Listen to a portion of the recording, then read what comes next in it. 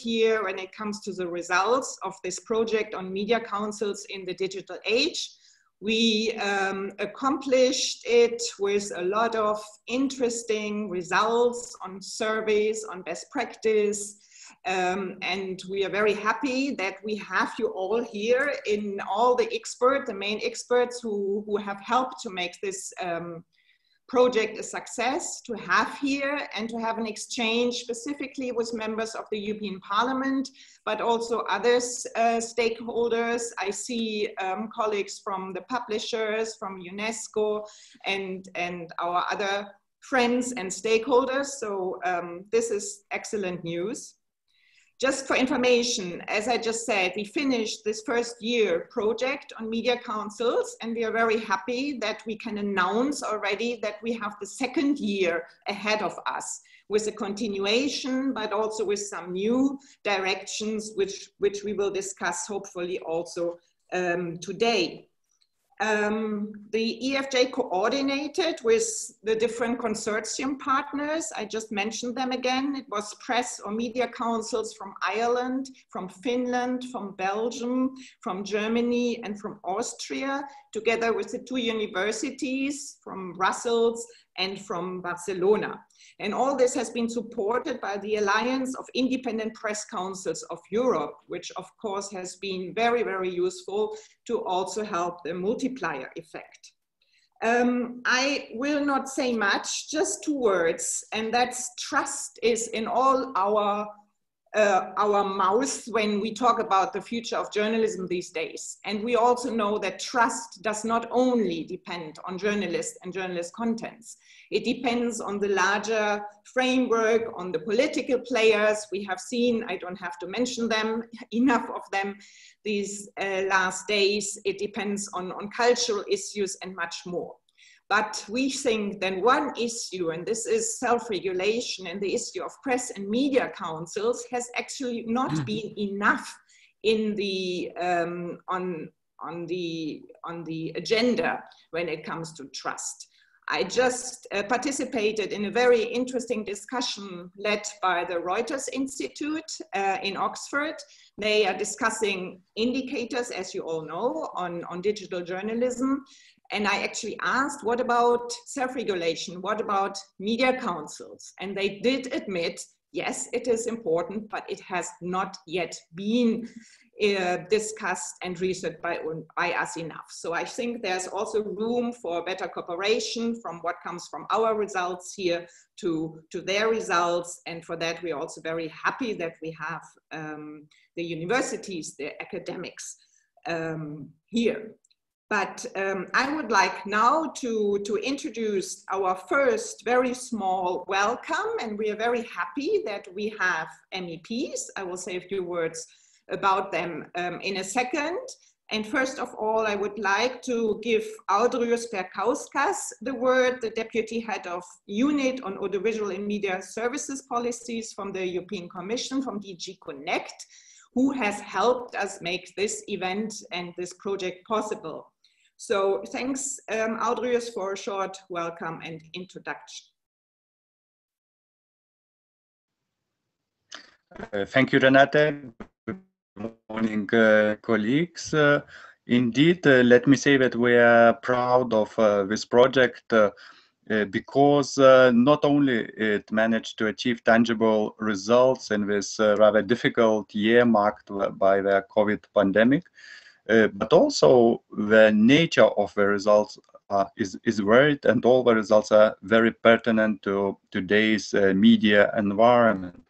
Uh, because this project combines uh, different types of deliverables. in particular, it supports establishment of media councils or in those countries which do not have uh, media councils yet uh, not to not let's say not in all countries which miss media councils currently because of course uh, the money is uh, necessarily limited. But step by step the project will expand the family of media councils in Europe and uh, this is uh, extremely valuable. Then there is the networking element bringing all the councils together to exchange practices and to collaborate online. And then what I noted is, of course, uh, uh, a very interesting uh, element of research into new areas of uh, of media like automated news delivery which is extremely pertinent uh, in today's environment so uh, going from the project to the wider political context um, i would mention just a couple of points. One is that uh, uh, we look at uh, media councils and the presence of media councils in the context of rule of law report because the Commission recognizes that media councils uh, are important part of uh, media uh, freedom and pluralism, uh, let's call it infrastructure in Europe. So in the first uh, rule of law report, the Commission uh, mentioned the, the existence of media councils in a number of member states and the conditions for their activities.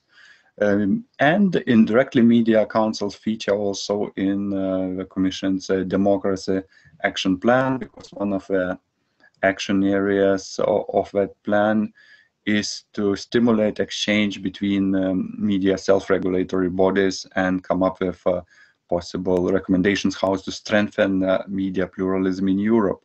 So as you see, all in all, media councils are our partners across uh, different uh, activities, be it project work or policy initiatives. And uh this is why I welcome very much with this exchange and, uh, and look forward to continue working with you in the second year of the project. Thank you. Thank you. Thank you very much, Audrius, to put it all in a context, very rightly so. Oh, you're still talking? I hear you still talking, but anyway, um, putting it in a context also with regard to the rule of law, which of course is very important and a very good link to um, welcome our three ladies, um, MEPs, um, I would like to first um, give the word to Petra Kammerevert, who had some problems with, uh, with her internet. I hope it will work. Just to give you a brief, Petra Kammerevert is vice chair of the group of Progressive Alliance and Socialist Democrats. She has been very active in the Culture Committee for years, for years. She has also been active um, in Germany um, in the Broadcasting Council of the Public Service Broadcaster. So this issue is very known to her. She was the rapporteur on behalf of the Culture Committee on the Digital Service Act. So all these issues are very known to her. Um, dear Petra, are you all right? Can you can you give us a few introducing words?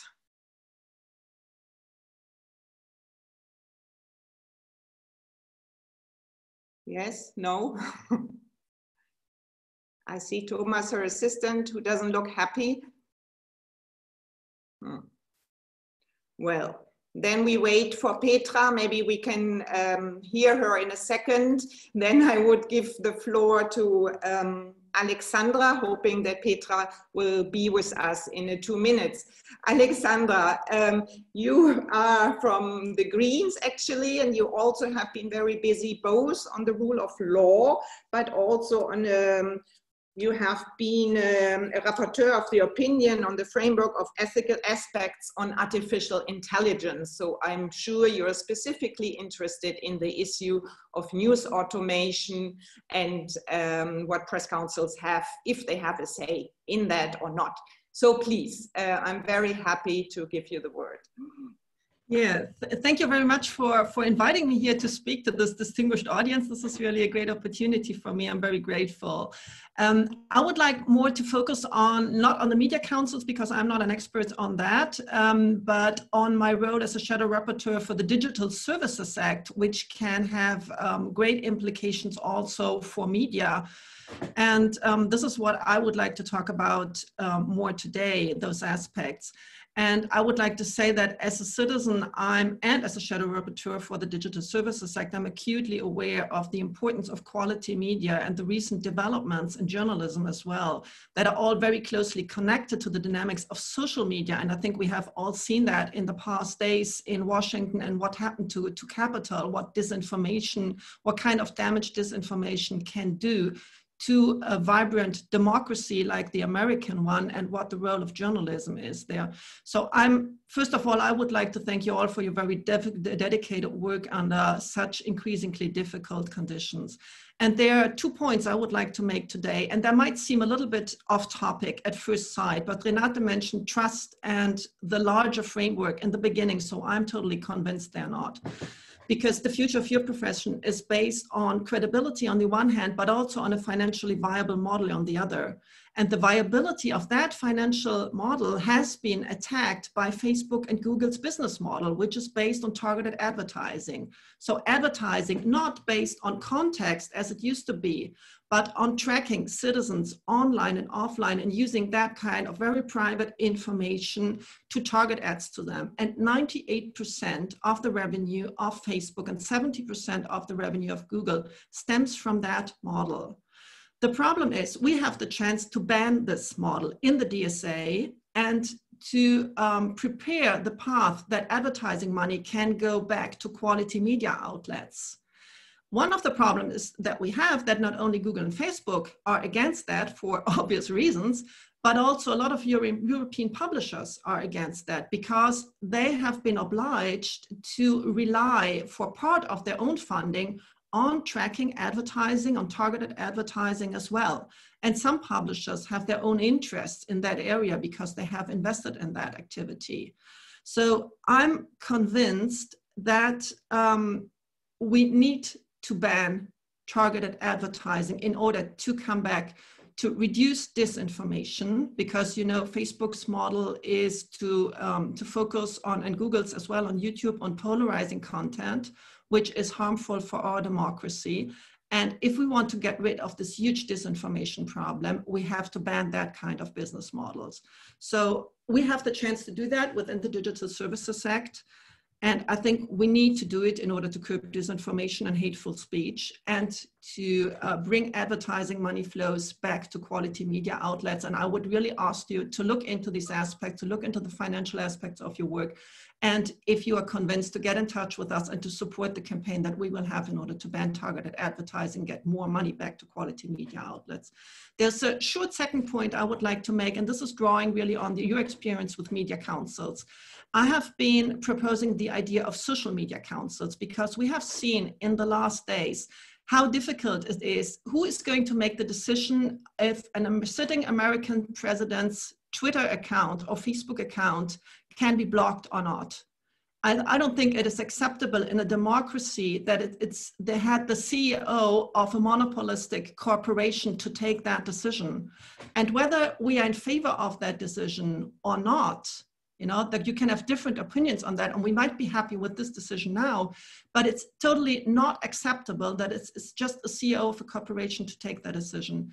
What is not acceptable as well that we can't just copy the media council because media councils are self-regulatory bodies by the industry but if you have an oligopolistic industry with basically three or four corporations you can't do that because they will never attack their own business models. So what i'm proposing together with david kaye the former un rapporteur for free speech and, and other people free speech advocates are social media councils made up by civil society, a representation of experts for freedom of speech by media, academia, but also the minorities targeted by hateful speech or women's organizations strongly targeted by hateful speech. Therefore, I would like you to ask, ask you to help us with that idea. You have all that experience from um, the media councils. How can we enrich that idea? How can we put it forward in order to create a better information and media environment for everybody? Thank you very much. And I wish you excellent this. Thank you, Alexandra. Thank you very much. I think two very important issues, of course, viability and also the issue of social media council, which by the way, will be much more focused in our second part. So I'm sure we will come back to you and discuss with you. Now I would like to introduce Ramona, who had some problems, family problems, and I'm even more happy that she is taking the time to be with us. Uh, Ramona Strugariu, she is the vice chair of Renew and she has been working in the LIBE committee, also very um, busy with the rule of law, a member of the media group and the shadow rapporteur on strengthening media freedom, disinformation and hate speech. So Ramona, the floor is yours. Um, thank you so much. Uh, happy New Year, everybody. Thank you for the invitation. I'm very happy to honored and honored to be in such a um, company. Yes, an emergency call from from the school of my son. Things are still ongoing, so um, I would I would uh, pass on my message and with you apologies. Uh, I, I must leave afterwards because I I'm not sure how things will evolve. So.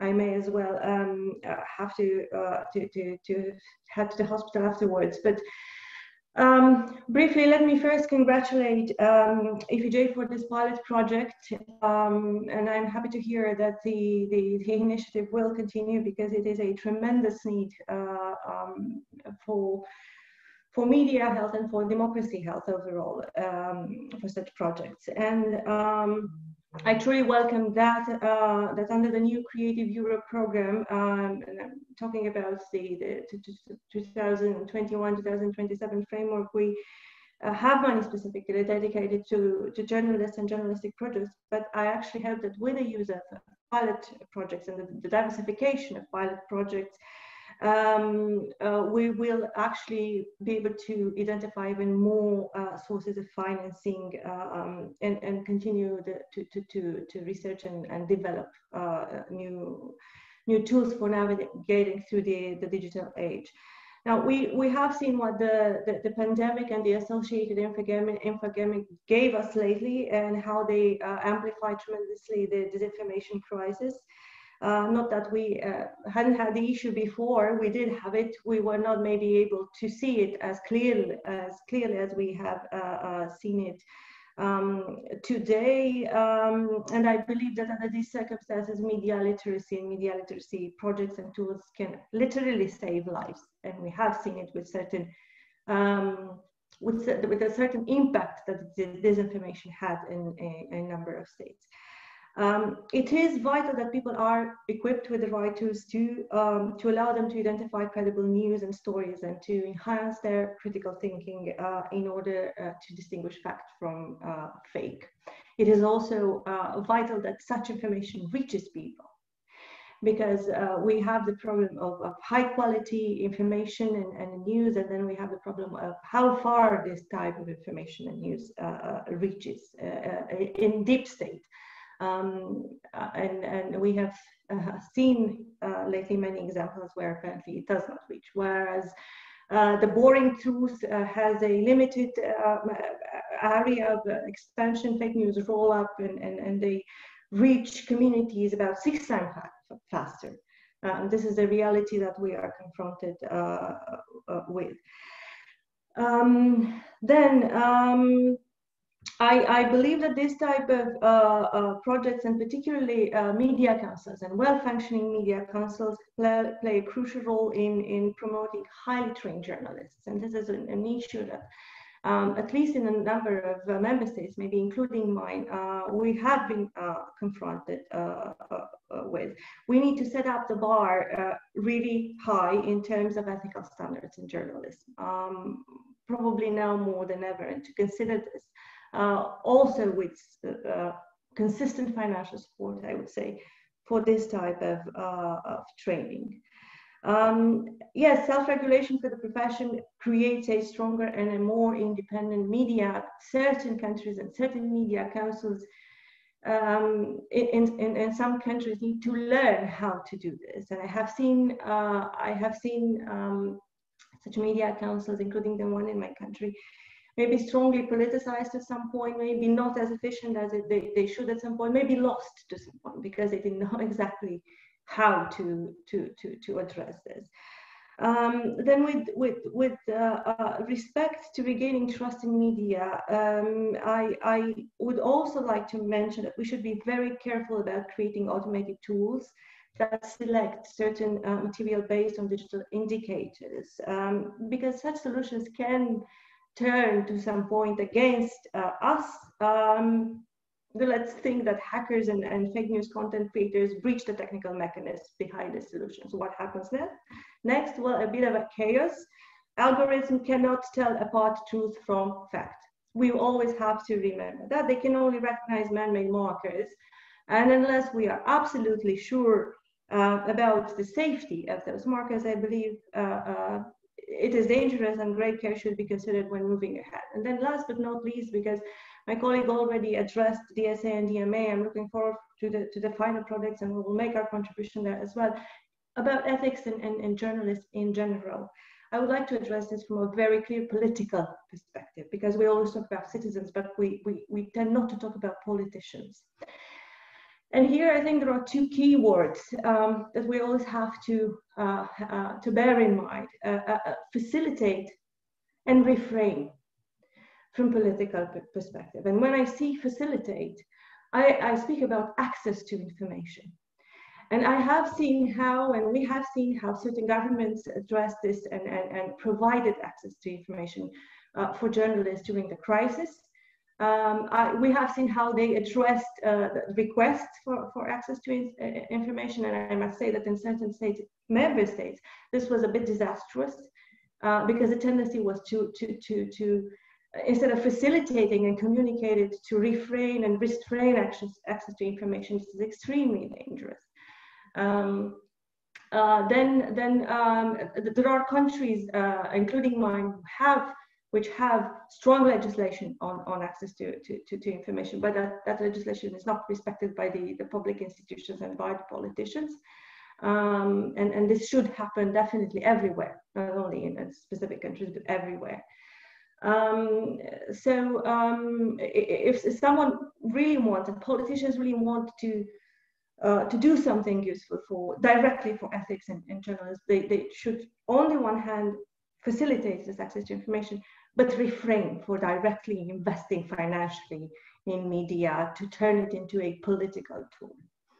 Uh, because another aspect is how politicians always are tempted and tend to use and instrumentalize uh, uh, uh, media for their own political purposes.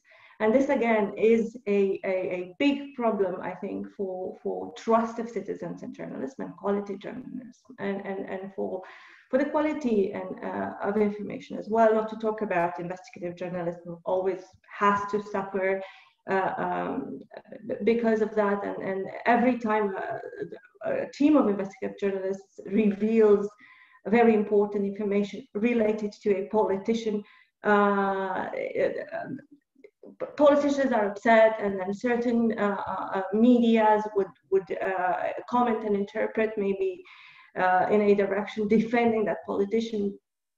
I, as a politician, said that, that, that media should stop defending politicians because uh, this is not the role of, of, of, of, media. Media should simply speak the truth and, and reveal what it is to regardless of who's, who's in power. Uh, but then I'm, I'm first speaking about ourselves that we should truly refrain from, from, from trying to use information in such a way. These are uh, my, my comments looking forward to, to elaborating on this later on as well, uh, using some of, uh, of, the excellent, excellent conclusions uh, further on in, in, in uh, building good practice on, on this because this is how we, we build up democracy and how we strengthen democracy. Thank you again. Thank you very much, Ramona. You said it all, um, and it's all very important. And you see in the program, we will be discussing uh, media literacy, of course, ethical standards is top. And also in the next project, there is specific money allocated for new press councils, because you're right, the ones we are here as our consortium partners, they're doing well. But in many countries, we have rather very bad or no media councils at all. And um, I know you have done, been doing a lot on, on journalism and safety of journalists. And I would also like to say, since there have been so many problems regarding safety of journalists when it comes to demonstrations and relation to the police, many press councils have asked for a better understanding of the role of journalism vis-a-vis -vis police and vis-a-vis -vis civil society. But as time is running, thank you, Ramona, and, and, and good luck with you also on your personal side. And um, I hope Petra now is with us and uh, we are happy to listen to you. Petra, does it work?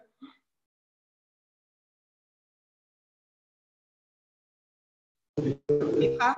Hello. Yes. Uh, not so good. Okay, I, I, I try to uh, my speech, and if you cannot hear me because of bad, of bad connection, please give me any kind of sign. So, uh, first of all, dear dear Renate, dear colleagues, dear participants, thank you for the invitation. I think this is a very crucial and important issue we have to discuss today. And uh, I think it's hard to conceive the European press and media landscape without press and media council. They act as a guide and ethical compass, but also as a vocal lobby against state intervention with the aim to safeguard the independent press and media. It is the structure and nature that is key to the role press and media councils play, which can be troublesome uh, at times, but in the end, it's, it's made effective and balanced by the integration of civil societies. What is more, the independence, independence and non-governmental organization are fundamental in order to fulfill the task as a critical observer, guardians of independence, and for monitoring the fulfillment of the program mandate. This is a way in order to guarantee for plurality and diversity, a broad range of social interests must be involved in this press and media council. As I see it, plurality and diversity are not only goals per se, but form and basis for the satisfactory outputs. In the revised Audiovisual Media Service Directive, uh, Directive, which came into force in 2019, a special concern of mine was therefore to, local, to legally anchor the non-governmental and independent status of the members of these councils. In the past, we often had to conclude that these demands are not met in practice. Here we wanted to remedy the situation and time will tell us if adjustment uh, will be needed in the future. As we all know, the COVID-19 pandemic poses not only a global crisis, but also a critical moment providing how small the dividing line between public and distrust toward the press and media. And supposedly between truth and fake news is a here and now can deliver by doing fact-based emotional reporting so needed to build trust in the work of researchers and field experts from around the world. And yes, by always their critical voices were measures taken in the usual scrutiny. Examples like this demonstrate us, us in the digital work journalists, web and newspaper, audiovisual media, private or public or grassroots internet blog is not getting any easier. This makes it all more essential to uphold journalistic standards as independence, pluralism, pluralism, and of course quality and truthfulness. These standards set decent journalism, good press and media apart from others. Hence, the work of Press and Media Council is indispensable for maintaining the character and quality of the European media landscape, and they work to ensure that quality criteria are maintained in press reporting. In this respect, digital tools naturally offer a chance for the impact of press and media council work as they can, for example, greatly improve the possibilities for and participation of citizens to report inappropriate media coverage, but also make these processes, processes more transparent to everyone. Many journalists take their daily work to point out the inept process uh, of self-regulation, for example, in business, to inform the public about shortcomings to shake up and so on. We can draw from this that self-regulation is always most credible and achieves the best results when it's fully internalized and consistently practiced by those who impose these rules on themselves. Yet, we also know that those who simply pass over criticism again and again eventually lose credence. As an EU parliamentarian, I'm naturally keen to take away something from EU project of this uh, this kind for our own legislative work, but I will keep this brief. On the one hand, we must ensure that the press and media in all EU member states and beyond can do their jobs absolutely freely, and in particular, where we already know that freedom of the press, the rule of law, and the independence of uh, judiciary are being undermined. To this end, I believe it would be useful to set up additional funding instruments and European projects, especially those tailored to support the local press and media. And on the end, we need to push forward political efforts for critical media education from European level and provide European citizens with the necessary digital skills and tools.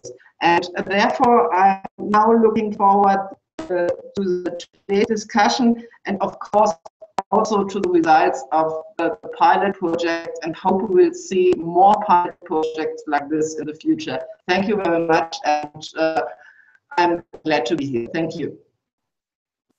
Thank you very much, Petra. I think it got better and better, the quality. Thank you very much for for stressing the importance of independent and um, transparent self-regulation, which indeed is so important for the trustworthiness for the press. And you also mentioned the specific situation in COVID. Interestingly enough, or maybe not interesting enough, there had been less complaints when it came to COVID reporting.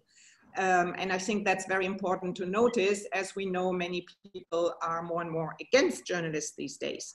So yes, you also um, discussed the issue of digital funding and, and other very important issues. Um, thank you for that.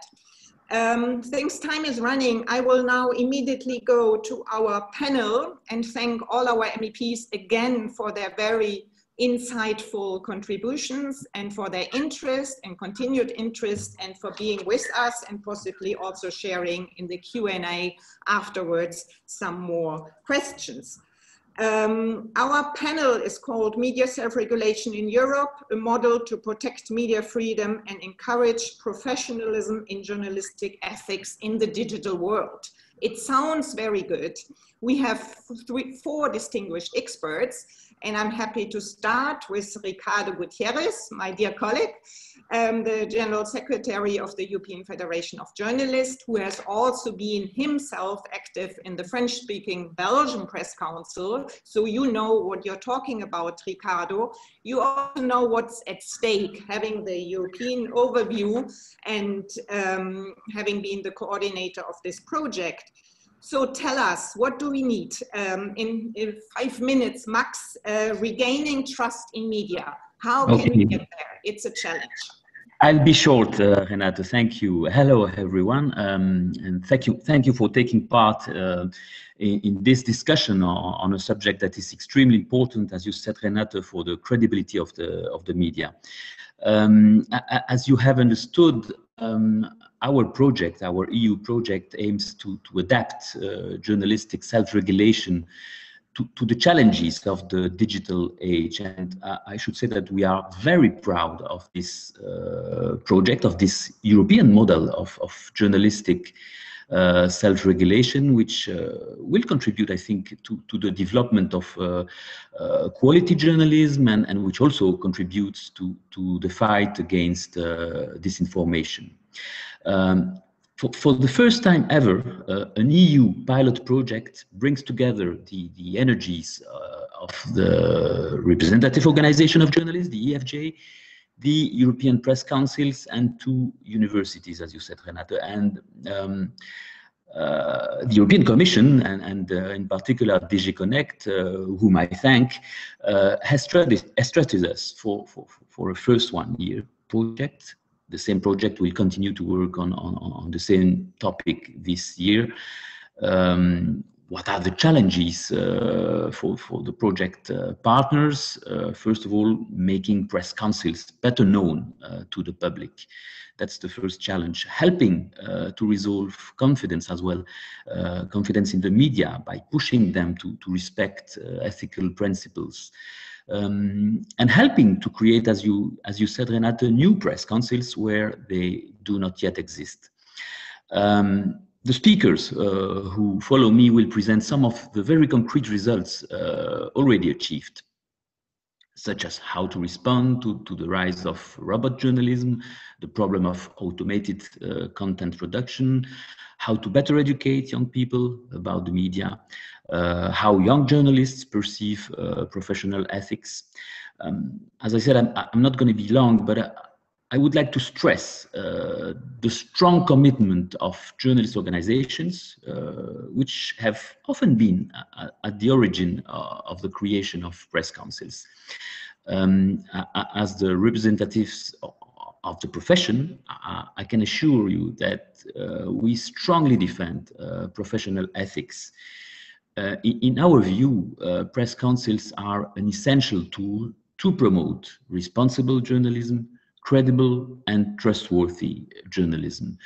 Now, um, the situation is rather worrying. Uh, trust in, in, the news has fallen in, in most uh, countries since uh, 2015. Just, just to give you some figures, in Germany, uh, the proportion that trust the most news most of the time has fallen from 60% in 2015 to 47% in 2019. In Finland, the, the figure uh, has dropped from 68% to 59%. The, these are just a few figures uh, to indicate the, the, the, seriousness, I would say, of, of the situation. And, and, it's not just about the media. Um, what happened uh, a few days ago in, in, the United States is very worrying. Um, and it's not the degenerates who invaded the, the Capitol that worries me. Uh, what worries me is what has mobilized them, the lies, the so-called alternative facts, the, the, the, systematic distortion of uh, reality, the mistrust against institution, against uh, science, against those in power, against the media. We all know that this global mistrust, as uh, Hannah Arendt uh, wrote so well, is the breeding ground for totalitarian regime. So at a time when, when we most need professional journalists and reliable information to counter disinformation, public confidence in the media is declining. Why is it? Uh, academic research showed that people's perception of journalism and the news media is deeply influenced by their perception of other institutions. Uh, Richard Fletcher from Reuters Institute, you already mentioned Reuters Institute, Renate. Um, Richard Fletcher says that uh, if trust in political institutions falls, then trust in the news media is dragged down with it. And if the political situation becomes more polarized, even the best news coverage can come to be seen as biased by large sections of the population. What we need to regain trust is to do our job properly as journalists. Uh, people expect us to report in, in a timely uh, manner helping citizens to, to understand the world around them and, and holding power uh, into account to account. Um, Richard Fletcher says that people with low trust in the news media uh, don't want it to, to be fundamentally different. They just want it to be better. In other words, uh, what we need urgently is stronger journalism, deeper journalism, better journalism. Uh, we in the EFJ have always believed that disinformation is not fought with uh, anti-fake news laws or other provisions that will limit freedom of expression. We consider that the best antidote to disinformation is quality journalism, stronger journalism, ethical journalism, of course, media literacy for all, media pluralism, and, and above all, a policy of increased transparency uh, of, of those in, in power. The most transparency there is in, in public affairs, the less disinformation there is. We also believe that uh, journalists have a role to play, of course. Uh, they, they, they too must be, be more transparent in, in, in their work. They must take more account of the public interest. They must be more careful, uh, more careful that, than ever before to respect uh, ethical rules. And that is, that is why we must support self-regulation and press councils. Any other strategy can be dangerous. Uh, that is why we are against uh, projects uh, that aim to certify uh, the media, to, to label them as credible media or not non-credible uh, media. What we need uh, is to give citizens the skills to, to see for themselves which information is credible or not.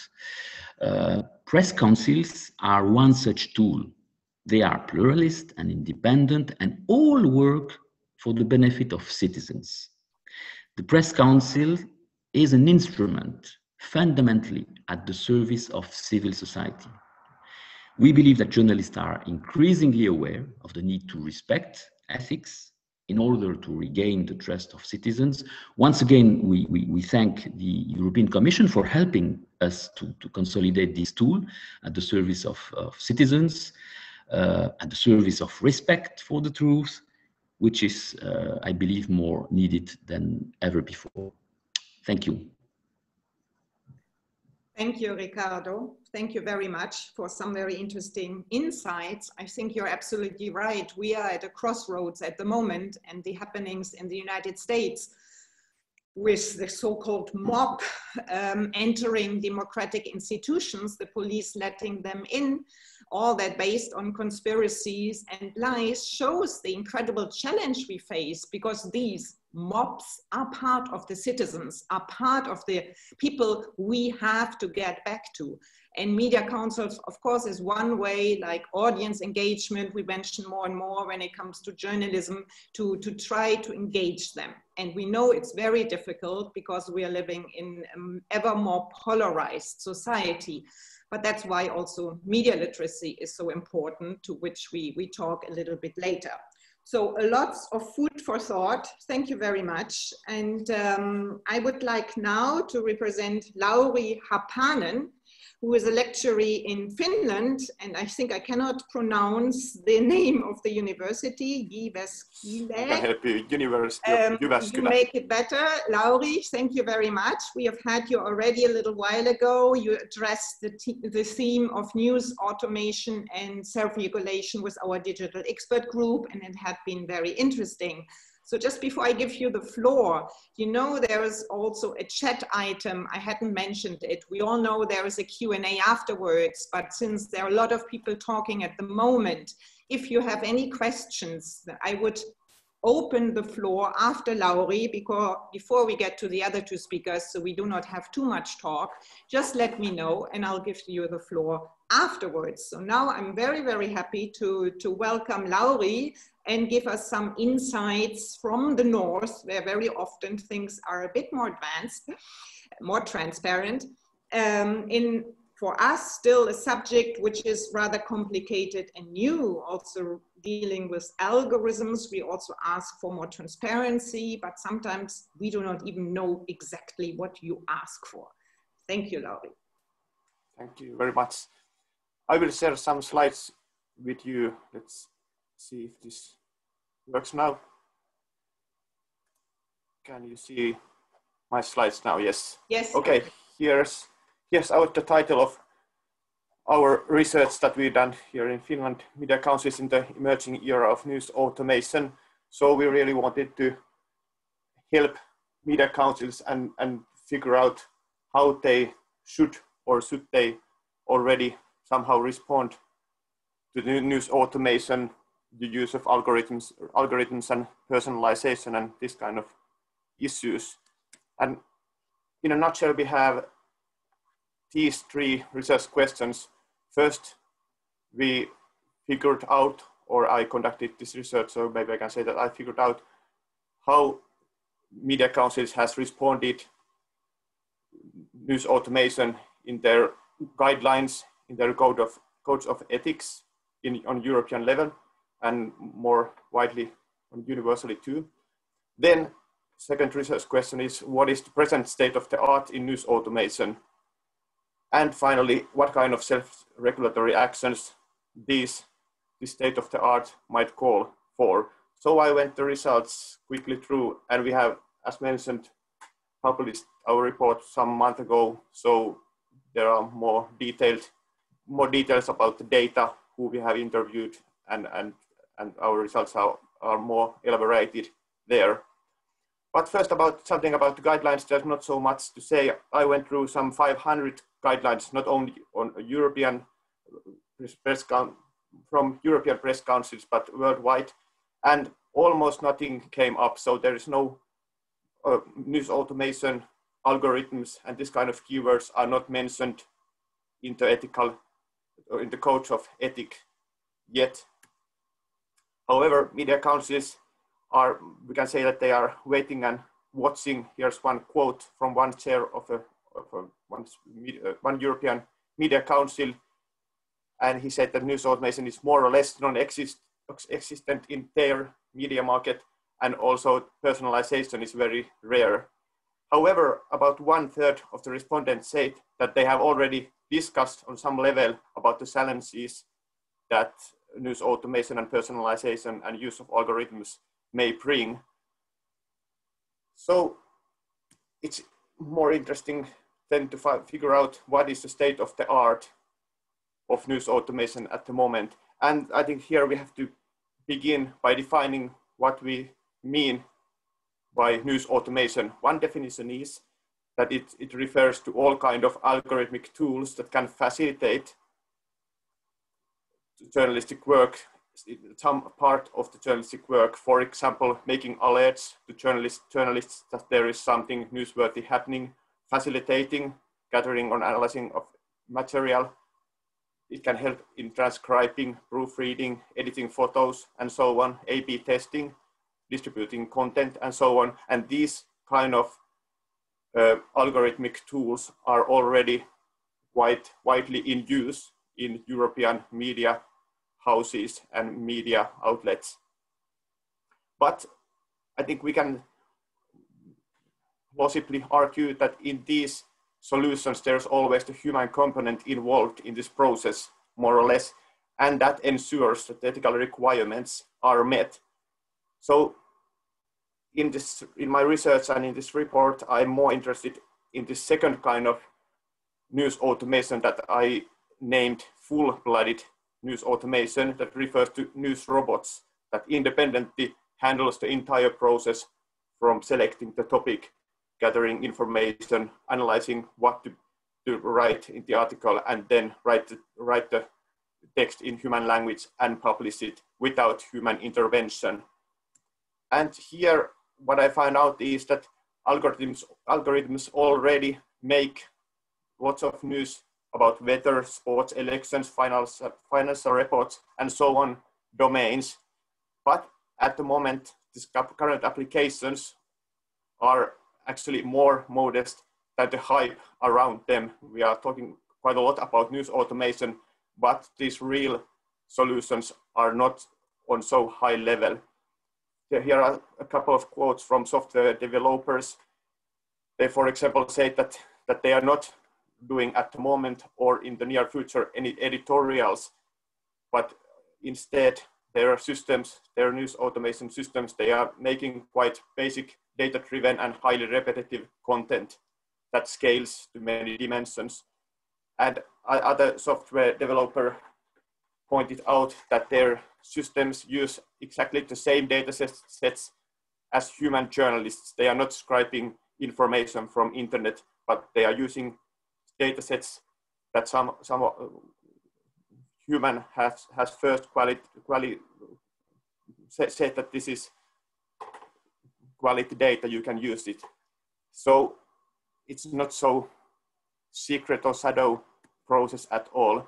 And basically, what is the state of the art or where the news automation is used mostly at the moment is, is some specific visual or numerical parts of an article, for example, infographics, and then the read more recommendations, that is these lists in the end of the stories that are based on the user's online behavior and also some information that the user has entered to the, to the software. So my conclusion in this report is that there's maybe not an urgent need for guidance, but at the same time, we must keep our eyes open. And why we should do that, I have four points. One is that media councils actually do not have a comprehensive picture of what's going on. And that's mainly because, as I found out, it was extremely difficult to get answers from large media operators. They just didn't answer my questionnaires, which were very personalized questionnaires, but they, they didn't answer. And one colleague of mine said that, that that's because big number of texts are already produced automatically, but publishers want to keep quiet because people are, are afraid of this kind of automated content. And that's why they don't want to reveal what they are doing now or what are their future plans. Then there are things happening in the field of journalism and of course innovations can spill over, so to say, from nearby industries, especially because the same software developers that make news automation systems, these news automation systems are only one part of their business and not the biggest part, but they also do online marketing and these kind of other domains. And for example, personalization is much more common in online marketing than in journalism. So it can spill over from there to journalism quite easily, I would say. And then the four point, I, I quote there this quite famous futurological phrase that the effect of technological progress is often overestimated in a short run, as we often do when we have this hype about news automation. We have talked about it several decades and there's not so concrete solutions yet. But then this Amara's law goes on saying that, that we tend to underestimate this progress in a long run. And I think that's one point why we should really keep our eyes open. And that's why I, in this report, I identified three points that we must not overlook when we discuss news automation. First of all, data has so far been the bottleneck in the development because these news automation systems really need systematic numerical data sets. But in, in research, there's a lot of work going on. And researchers and, and software developers try to find out ways to utilize new types of data sets, free-form texts, audio files, video files, and so on. And once they can do that, we can take a leap forward in news automation. But these kind of data sets cannot usually be produced within newsroom, but it requires that we have a collaboration between several experts from many different fields.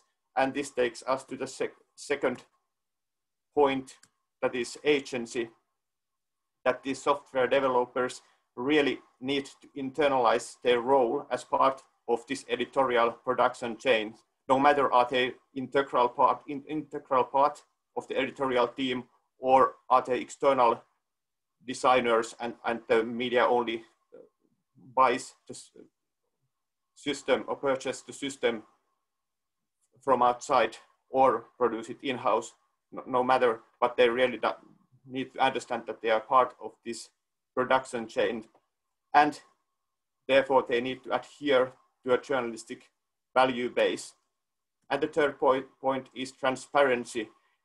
In a research, there's, it's often mentioned that transparency is the key in maintaining and also restoring the trusting relationship, relationship between news media operators and their audience. So I think we must be transparent in the use of algorithms, news automation, personalization, and this kind of solutions. And finally, it is this transparency is a good way to differentiate journalistic media from social media giants. who are often not so transparent in about the information they are gathering and how they are exploiting this information. So I conclude by saying here and in my report that media councils should monitor carefully the development on the field of news automation, what's going on there. They should ensure that they offer real, a realistic opportunity for the audience to complain because quite often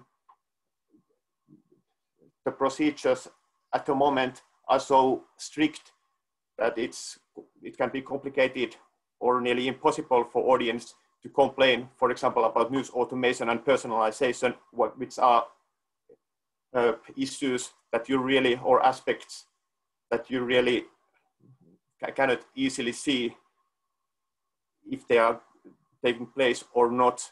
So this take, takes us to this third point that media councils should be sensitive to silent signals and really in, act on their own initiative, not waiting for complaints, but act on their own initiative.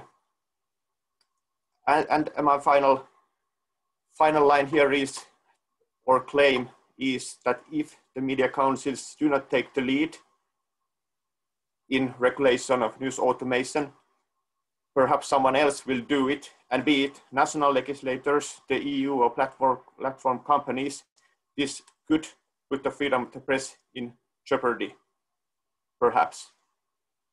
But yeah, thanks for listening me and and the report you can find it from the from this website. And if you have any other comments later on don't hesitate to contact me. Here's my email address. Yes thank you. Thank you very much Lauri. If you get rid of the yeah. Yeah. Thank you very much. I think this has been a most useful insight in news automation. Um, could you try yeah. Sorry, just. Um, you're trying to get it out. Anyway, um, yes, I think we, it just shows how important it is to deal with the issue. You said that news automation is not yet done for the editorial, but I'm sure this will be rather quicker than later. Um, and it's very, very important, as you rightly say, that the media councils deal with the issue and not anybody else. So I'm also very happy that the Alliance of Independent Press Councils of Europe is listening to that and dealing with that. And maybe what's been done already now in Finland is already done in other countries as well, but that this exchange is so urgent. And for that, I'm very happy that we we have the second part um, of, of the project to deal with that much more. Um, as I said before, I don't see in the chat, but anybody has a specific question now to Lauri or to Ricardo? I mean, there's a lot of food for thought. There's a lot of information you gave also question of data, I found very interesting that software developments, developers need to adhere to journalistic standards. I don't know if that has been happening already, but that's also for the EFJ something to deal with. Um, any question? Yes, Alexandra?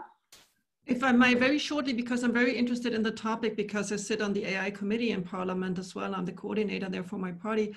Um, who are the companies that are developing the systems, the algorithm, and so on? And what kind of oversight or um, control do you have in order to ensure transparency?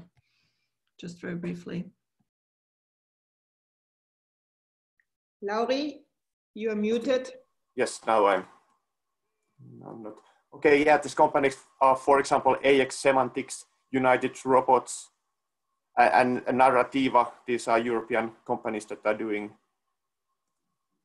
uh, among other things, news automation systems and then selling their products and these systems to, to media operators. These names are mentioned in this my report, and I just put the, the link to this report to the chat, so you can find the names and the CEOs I interviewed from this report. Excellent. Any other questions? because otherwise then we move on to another issue which we already discussed and which is very important, the issue of media literacy specifically for the youth in the age of disinformation. We all use these challenges and I'm very happy to have Alexander Warzilek, the chairman of the Austrian Press Councils, to give us some more insights. Um, Alexander, the floor is yours. Yeah, thank you, Renate. As you just mentioned, and uh, as you mentioned already before, media literacy is a key factor for strengthening our democracy, but also for strengthening the trust and the credibility in professional media. So I was very happy to be able, to, together with uh, the German Press Council, to develop this kind of a media literacy toolkit for teachers and schools. Uh, so the whole story is based on nine different uh, cases, cases that uh, have been decided by various uh, European press councils. Four countries have been involved, besides Austria and Germany, also Finland, uh, Switzerland, and Belgium, so it's it's five countries, and um, we created this kind of uh, role plays based on these decisions um, from the press councils, and of course for didactic purpose uh, we had to change uh, the cases slightly. But um, generally speaking, they are very close uh, to the decisions the press councils made. And uh, besides these uh, nine case studies and role plays, the toolkit consists also of uh, two um, explanatory videos. One video is uh, about uh, discrimination and our anti-discrimination clauses in the professional code of ethics of, of the press councils. And the second video is about the correct um, reporting on suicide coverage. And um, we, we will continue with the role plays with the cases this year. We try to get uh, new cases. Uh, we put weight on cases which, or on decisions which have been related uh, to topics uh, which are of interest for young people. So some of the cases involved also young people. And uh, besides that, we tried also to be very topical. So it was a mix of being topical and of having um, topics um, connected to, to young people, to the group of young people. And this year we are also trying to go to schools and promote those role plays and cases so the idea is um, that um, representatives from various press councils will travel to other countries and present that role plays and play the role plays with the students uh, just to, to, promote it a bit more. And uh, we are also trying to contact uh, ministries for education and schools to, to yeah, put uh, some, some light uh, on on our toolkit, which is it, it, it is quite quite interesting, I think, and also the the feedback uh, from from the other press councils involved in the alliance of uh, of the press councils was very good. They said uh, that the cases are very practical and uh, and nice. So I'm I'm happy to to uh, to promote it also this year and to continue with this project. We are also planning to do two more explanatory videos. So I think um, the package is quite nice. Maybe we should work a little bit on the promotion now. Thank you very much, um, Alexander. Interesting indeed. And I think it would be really good to get this information out. I know there are many other groups like lie detectors and other, others who are dealing with journalism in schools at national level, at international level. And the more we can share the experience, the better. So any information you have, we have it already on the Press Council's EU website, but maybe we can even disseminate it more and then of course go deeper in in the second part. Um, it's been, been very interesting and, and actually quite positive. Um, are there any specific questions? Because otherwise we will just give the floor now, last not but not least to David Domingo. And afterwards, we have some more comments and questions and answers. Um, David, I'm very happy that you will talk a little bit more generally about the survey the, um, the university, the ULB, University Libre of Brussels did when it comes to media councils and the perceptions of them, but also to discuss a little bit specifically on young journalists and what their ethical challenges are in 2021. Um, thank you, David.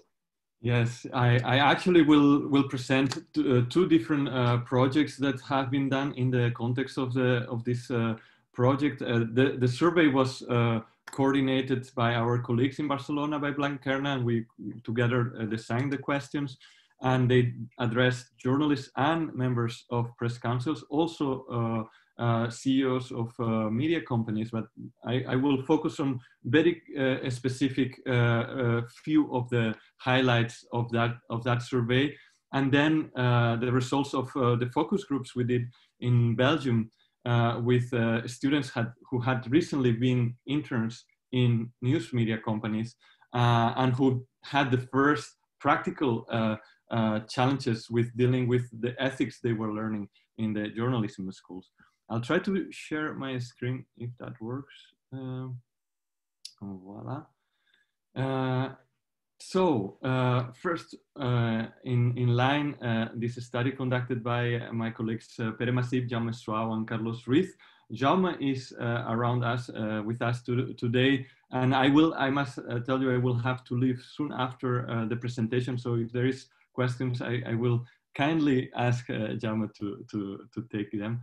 Um, this, uh, this survey uh, covered, uh, on one hand, 450 journalists in nine European countries and 61 members of press councils in six European countries.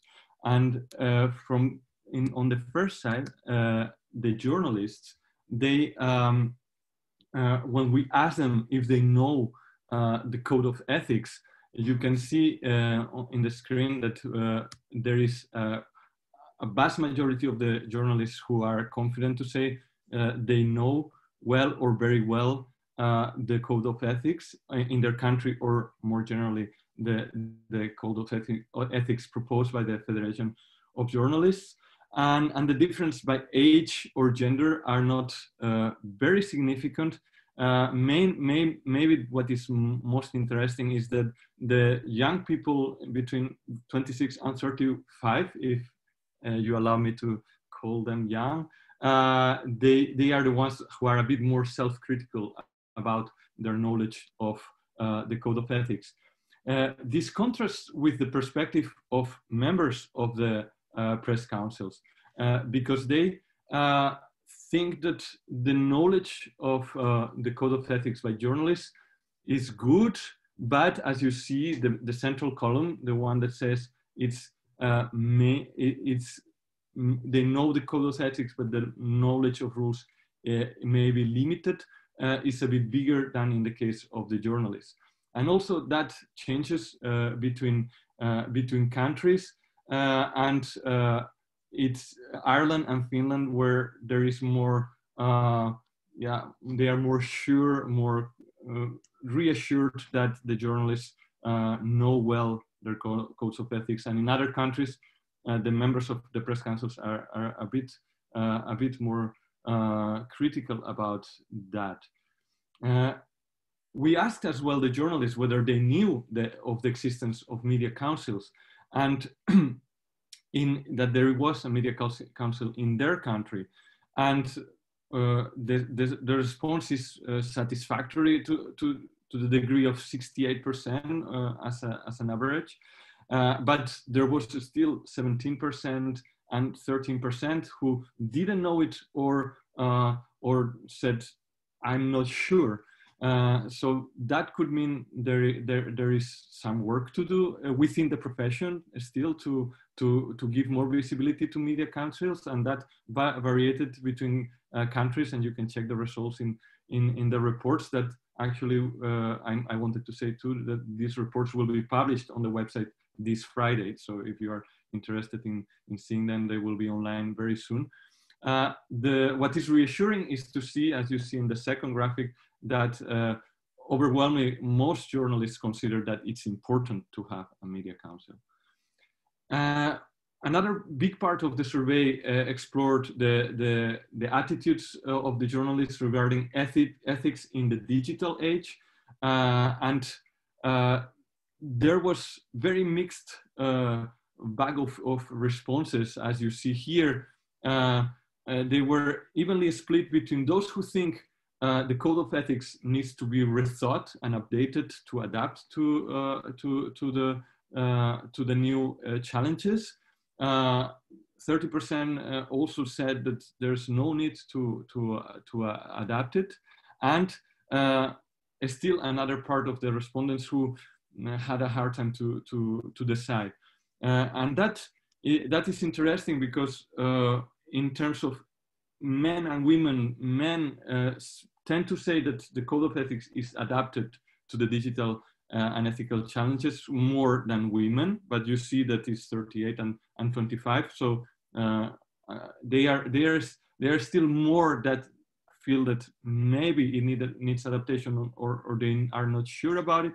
And uh, regarding the age, those who are more reassured about the validity of the code of ethics uh, uh, nowadays is uh, the, the people in their 30s and the people in, in their 50s. It's the young uh, people and, and, and people in their, in their 40s who are, uh, who are more skeptical or uh, have a hard time to, to, to position uh, themselves. If we look at this similar question from the perspective of the media councils, uh, there uh, they are much more sure that the current code of ethics are responding correctly to the new ethical challenges. Uh, and by countries, uh, you see among the members of these uh, press councils, uh, the, the degree of, of uh, uh, reassurance about, about these varies greatly. Flanders, Wallonia, and Germany are, are the ones who are more sure about the adaptations they have done in the, in the, in the last few years. So I will, without interruption, pass to the second study uh, in, in the, for the sake of, of uh, brevity. Uh, and here uh, we focused specifically on young journalists and with a different method. It was not a quantitative study. This was focus groups where, where we gathered uh, 40 students from different universities uh, here in, in, in the French-speaking part of, of Belgium. Uh, and uh, we will extend this first pilot study to other countries in the second year of, of our project. Uh, the idea was uh, to meet these students and see to what extent ethics is present in, in what ways in, what, in the process of entering uh, the profession. So we interviewed them right after they finished their, their internships. Uh, and we wanted to say, to see how these, uh, how do they deal with the concept of uh, journalism ethics and how do, does that shape their professional identity. Uh, the first thing to say is that in, in French, there's a, an important distinction between uh, deontology and ethics. And deontology is uh, the concept that defines the set of collective professional standards uh, that, that regulate the, the profession and ethics is, has a much more individual and personal uh, connotation. So the students could uh, understand the difference between them, but they tended to blur the, the boundaries. And, and, and, and, and they had very different ways to describe what deontology and ethics meant for them. But in general, as you see here, the, the words that came in, in the discussion was mainly about uh, something that guides them, somebody, something that is a tool, uh, something that constrains, but at the same time protects uh, their work and uh, that gives credibility. The, the variety of the responses was, was very interesting because they are very close to uh, having learned uh, theoretically that in the school. And despite that, they, they already um, have very different ways to, to, to attach themselves to it. Uh, and the main thing that we found is that for them, deontology and ethics is a constant negotiation, a negotiation with the, the context around them, their colleagues and their sources, and, and that uh, leads to tensions, as I will explain in a moment. They, they tend to understand that uh, their decisions about ethics are, are uh, cannot be detached from the editorial identity of the media they were working in, uh, the expectations that are put on them regarding what they need to produce, uh, but also their personal values. So all these different aspects make uh, make deontology uh, a process that is uh, a complex negotiation in everyday life for for the journalists, and that implied for them um, that it's flexible, that that ethics eh, doesn't have a, a solution that fits all, uh, and that it's deliberative. Uh, it's something that we built uh, in the in the process uh, of um, discussing specific given problems in a specific given moments with a specific given context. Uh, this, of course, leads to tensions, and, and the students were very honest about sharing the anxiousness they have felt in, in, some, uh, in some situations deontology is uh, an object of tension because uh, they don't control all the decisions. And things like the right to privacy, uh, if it's put uh, in, by, in pressure by uh, the profitability and productivity of the media, when the, when the uh, editor-in-chief is asking them, we need to publish this photo because that's going to generate clicks, that, that makes them realize that making decisions on deontology is not, is not easy. Uh, and they acknowledge that difficulty. Uh, in their daily practice, then that leads to uh, interactions that can be tense uh, with their peers, editors-in-chief uh, not, notably, and but also with their sources uh, in, in, in, the context of the relationship of journalists with PR strategies. Um, and being an intern in that context doesn't make it easy because they see themselves uh, as the ones who have less power to defend their ideas or their position in, in the context of a newsroom. Uh, despite that, they were very, uh, they had very clear ideas about what is good journalism. And they were very judgmental about their own, uh, the quality of their work, the, the quality of their peers, uh, and, and they expect uh, higher standards in, in the profession. Uh, they actually shared some, uh, uh, some, some étonnement, on dirait en français. they were appalled by the lack of awareness of deontological rules by some of their older peers in the, in the newsroom. And that for, for us was a sign that, that they take deontology serious uh, and even if it's hard for them to define them, define it uh, clear uh, and to apply it in everyday life, they cherish it and they think it's important.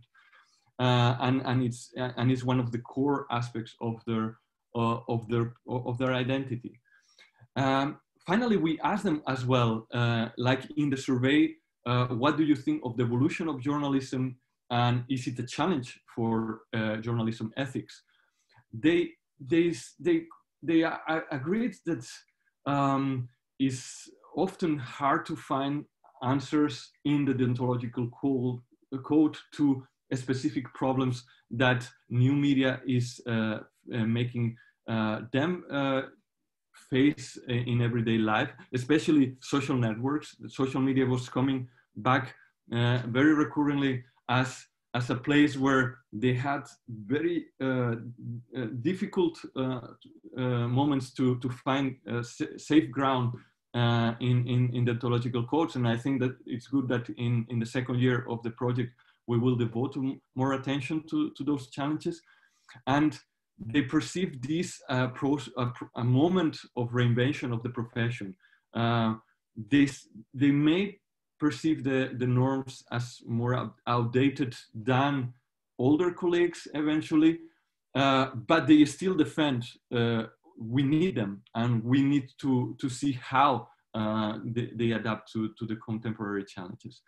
So that was um, some few input uh, from, from our, our study. Here you see the, the team of uh, people who contributed to do the, these focus groups and to analyze the data. And, and uh, Florian Tixier is here uh, in the meeting in case uh, you want to discuss the, the rest of, of, of if you have questions uh, about it. But I invite you to read the full reports uh, on Friday. Thank you. Thank you so much, David. That was a lot of interesting food for thought, um, both on, on the issue of young journalists and the different, I haven't thought about it, different uh, concepts of ethics, deontology, but also about the dealing of, of media councils. I will not repeat it now because we do not have a lot of time. David told me has to leave soon. So are there any immediate questions or comments to those two studies? Then I would like to have them first before we go into a general discussion. Anybody? No. Well, then, um, thank you, David. Thank you a lot. I think um, there's really a lot of interesting stuff we certainly will continue to deal with. Um, I think there are a few people who uh, would like um, to give a general comment. I heard that Adrien from Russia would like to say something. I think Adeline um, who has been following very closely from UNESCO the project. Adeline, it would also be great if you say just a few words, the first impressions from project one to two, um, and maybe Peter as well. But first I give the word to our Russian colleague, please. Thank you very much. It's a kind of an improvisation. It's just to uh, tell you about the Russian Council, uh, Press Council. Uh, that uh, we, uh, together with Nadia Azhgikhina, I think most of people here knows her personally. we joined this body really recently, and we hope to work within for the uh, upcoming five years. And um, uh, it's a, just a short uh, presentation because probably people don't know uh, about the existence of uh, uh, such bodies. A real genuine, genuine public organization which consists mainly of very respected members, well-known people, journalists, lawyers, really no, well known in the professional community. Uh, but um, unfortunately, the uh, activity of this body is mainly the conflict situation touching the uh, ethics, the conflict between, it, it's a kind of compliance, few dozen compliance per year against media. And uh, all this situation are st started in depth uh, and the discussions uh, uh, of council members is uh, are, they are very serious and um, lively anime. and I can say now, because I assist a few times in this kind of decisions, that all these decisions are made impartial, impartial and correct but unfortunately, the reaction from media in Russia, especially uh, state-owned media, um, when the council decision is directed against them, uh, there's this decision uh, uh, they don't appreciate it, uh, telling, so what? Uh, what a big deal. I don't know why, probably because of the institution of reputation in Russia is really weak and uh, undeveloped. I don't know. Uh, probably it may be, uh, may have another impact if the council will develop uh, uh, another activities. I think uh, not only this activity of judging or Uh, uh, taking decision on conflict situation when it's a case of uh, this or another publication, but doing something more important. But now um, Mikhail Fedotov, uh, who is uh, one of the president of this council, uh, he created the chair, UNESCO chair on the Higher School of Economics, and I hope um, he, he will develop other activities uh, because uh, I, I, I, want to repeat that is really uh, the genuine public body, not governmental body it's uh, really important in the present Russia situation. So that, that, that's it. Thank you very much. Thank you, Andres. I think it's very important to give an outlook a bit outside of Europe and it also shows if whatever press council can be as good as, if it's not embedded in an environment that allows its independence, it's very difficult. And that's why we have to be all very vigilant and of course help you in Russia where we can. So that's been good. Is there any other um, comments? I don't want to force it upon anybody. We are at the end anyway.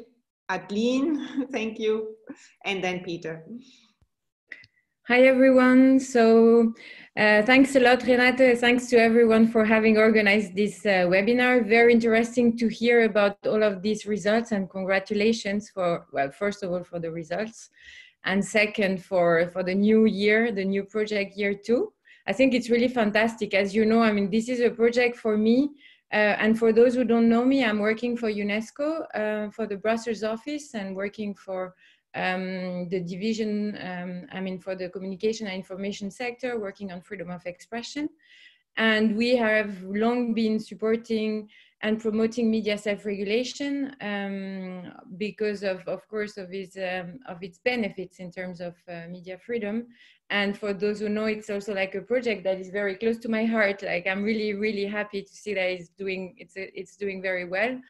Um, and I don't want to repeat, I mean, one thing I want to say that for us, what is really important is as well to use this project and this experience in our work in other regions. Um, we are working right now uh, also with the European Federation of Journalists in the Western Balkans, uh, where we do support press councils. And I think this experience that you're gathering, all these, for instance, this presentation about news automations, the need to work on um, on new standards, etc., are really relevant and can be very useful. I also think there is such a need um, for more clarity and information about how press councils are functioning. And I think the results and this new web page that I mean website that has been launched with all of this information is really, really useful. Um, and of course, as always, I have a lot of questions and I just want to, to keep a few and I don't know who will be able to, to actually answer. I just want as well to say one thing in relation to what was said with the MEP uh, Geese uh, in relation to this, um, the Digital Service Act and also this discussion um, in relation to social media council. Um, um, this is also something at UNESCO that we're following very closely, and we are actually starting a new project, um, uh, but it's like, it's, it's, entitled Social Media for Peace, uh, where we, we're planning to, to really work with um, uh, social media platform on the monitoring of uh, potential harmful content and get more insight about how we are actually um, trying to see how to better curb uh, potential harmful content and work with platforms.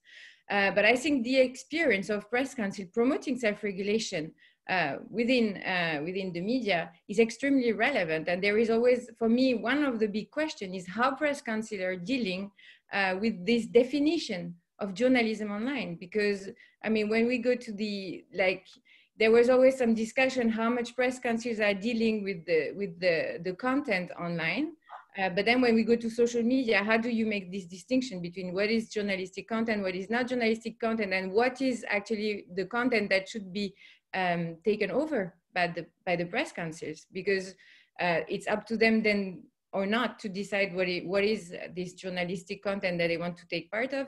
Um, and also for them um, it's a, it can become a burden. And here i just want to conclude with this because here again i think for press council that are already under um, difficult financial uh, situation and this we really need to to to to say uh, and and remind um, making them as well in charge of, of content that is uh, I mean, much more journalistic content potentially, uh, be, because that could be on the social media, media platform is also like really, really um, a complicated uh, uh, area. So I wanted to, to get a bit more like, to hear more a bit from, from the press council about what they think about that. Um, and my second question, um, very quickly, is um, in relation to the, in the, independence of press and media councils. We had this conversation at the start of the, the first uh, project uh, about what could be and what would be the criteria to actually define uh, better the independence of press and media councils. And I was wondering where we stand um, in that area at the end of year one. Sorry for too many questions. Thank you very much, Adeline. We should actually start the Zoom now to respond to your very good questions, um, which is not possible. But still, I also would like to thank you because you have actually been extremely helpful um, for us toward throughout the project in, in helping us. And as you rightly say, we have a common project on trust in media in the Balkan. And of course, it's very important to transfer all that knowledge. We have a colleague from Serbia, Dejan, here with us, and he certainly agrees with that. Um, before I give the floor to anybody who would like to respond on both this very important issue on what's journalist content and who is dealing with that, the issue of social media of independence and indeed something we haven't discussed that which are the finances which is very important and i'm not sure if we have the response here. But maybe peter knapen who has been very active throughout the project as well and he's from the flemish part of the press councils. Peter you can already say a few things towards what adeline said and then maybe we have somebody else who is eager to say a few words Thank you, Adeline, and um, welcome, Peter. Okay, thank you. Uh, the questions of uh, Adeline, uh, I, I, would like to mention that we, with the Flemish Press Council of Belgium, did a comparative study, a comparative survey of uh, 28 or 32, I don't remember, press councils around the world and also the results of these of this survey you can find on the website uh, presscouncils.eu. We uh, the survey was about the way that uh, press councils are organized, that they work, etc. And one of the of the questions was also how can press councils guarantee and prove their independence? It's a very difficult question uh, you can see it as financial independence. And uh, yeah, of course, you need money to work with a press council. And by whom, who are you, who are you financed? That's one of, of the questions. You have uh, some, uh, you have different models. Uh, press councils financed by media organizations, press councils financed by media organizations and journalists, journalist associations, or partly by subsidies of the government. Um, you can always say when you're financed by media organizations or by the government, there will be influence. All press councils guaranteed, as in the in the study, that there is no there is no uh, kind of influence. Sorry. Uh, but I think that the, the most uh, the, the answer that we mostly heard was that you have to prove to prove your uh, your independence in your daily work by the decisions you make about complaints.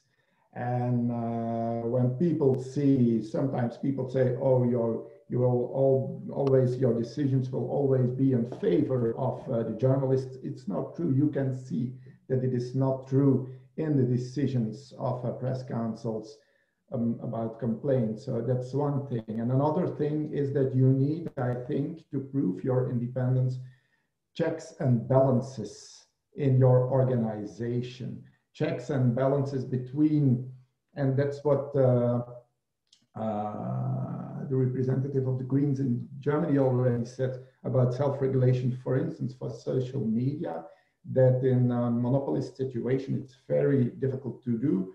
But when you have the different competitors, uh, competitive organizations, media organizations in your press council, and you can guarantee checks and balances between journalists, between media organizations, and with also representatives of civil society in the press council, then I think that's also an, uh, an uh, one thing to guarantee the independence that you have a lot of ideas, a lot of um, points of view in press council that can be discussed. We, for instance, we always decide by consensus in our press council. We have 36 members.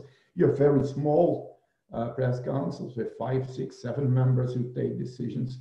But this, I think these two or three things that uh, prove your independence in your daily work, guarantee that you have a lot of uh, of uh, checks and balances within your press council and be transparent. Transparency and representativeness is, I think, very important for press councils.